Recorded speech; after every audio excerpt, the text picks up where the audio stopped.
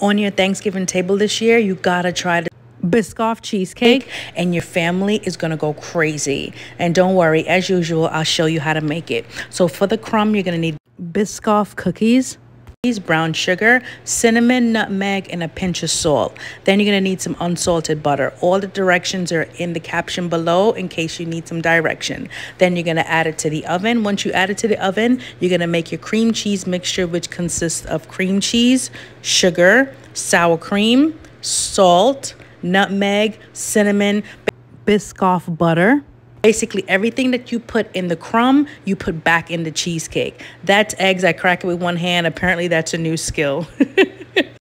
Make sure you wrap your springform pan because you're going to give it a water bath. And a water bath allows for no cracking in your cheesecake, just like this. I went ahead and decorated it after it was fully cooled down. Then you're going to grab a big slice. And guys, it was delicious. Let me know what you think.